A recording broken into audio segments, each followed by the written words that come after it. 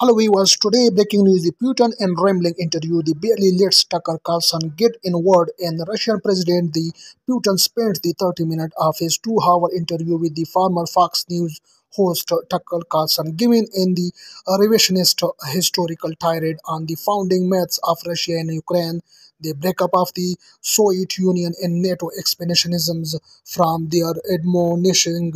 Carlson when he interrupted Putin and the uh, pontificated on everything from the war in Ukraine in relation with the US, the case of in the imprisoned American reporter Ivan Gershkovich uh, and even on the artificial intelligence. By the end of the conversation, if it was clear that Putin had no intention of ending his the brutal war against Ukraine.